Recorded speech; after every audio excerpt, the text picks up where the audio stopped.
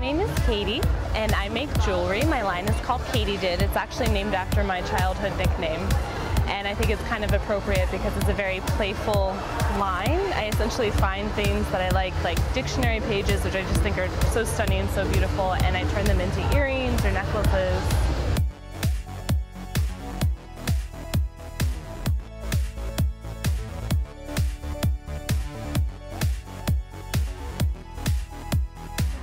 My first raw experience was a little overwhelming because I had no idea what to do. Um, I had never presented my art before, so it kind of, was very exciting and very nerve-wracking at the same time.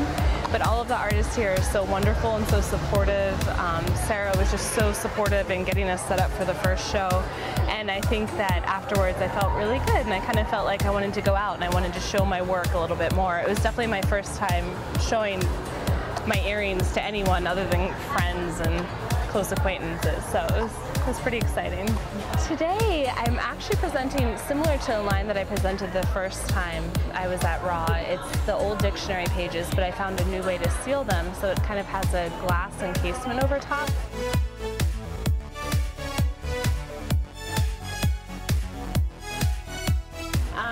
An Etsy shop. I think it's etsy.com slash shop slash KatieDCL. And of course, I'm on the Raw website under Ventura. My artist name is Katie Katiedid. My name is Katie and I am a Raw artist.